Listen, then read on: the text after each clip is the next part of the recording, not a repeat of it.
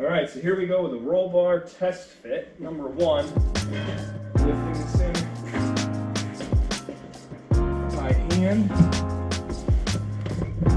One person.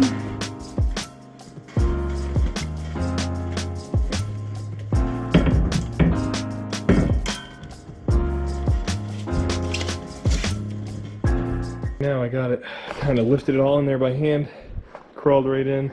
Since there's no seats in the car, makes it easy. I'm gonna go ahead and wiggle it, make sure I'm not crushing any wires, and mark holes of where to drill. All right, so after a little bit of fiddling around, I got it aligned and I have it centered, and what I'm going off of as a gauge to have it centered is not only the holes align here at the edge of the slot, about the same amount of the edge of the slot on each side, as you can see over there, but also the soft top, the position I left it is like halfway down. You can see the clearance between the roll bar right there is about the width of my index finger. So if I take you around to the other side,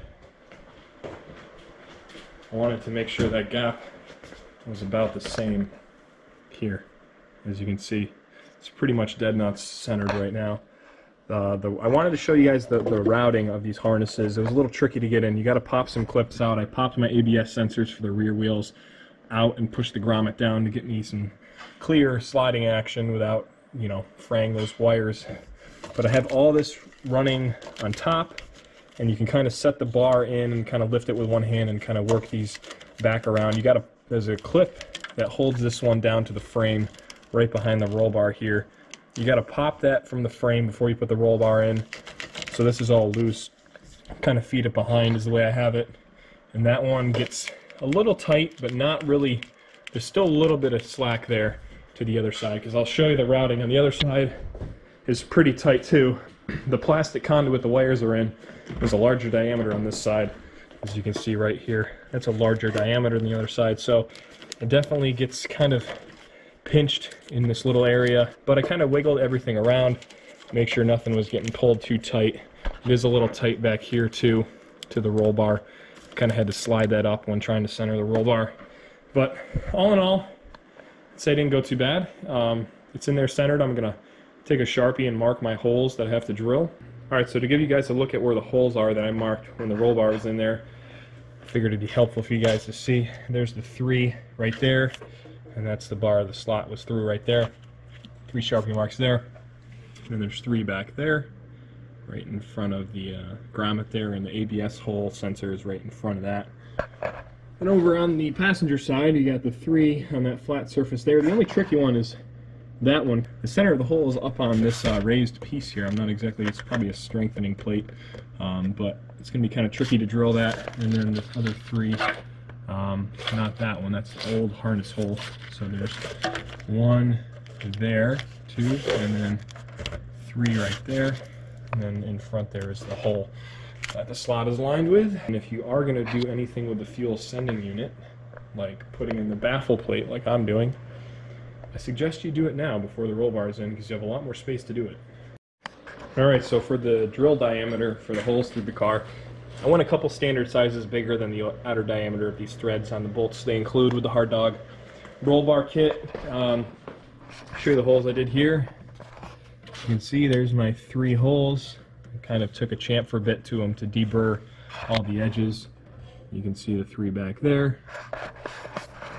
And then the three over there. And then underneath this wiring harness there's three as well. But So I'm going to hit them with, um, I have some red Rust-Oleum paint and I'm just going to spray a light coat over the holes to cover the chamfer and raw steel edge that I just drilled through the car with.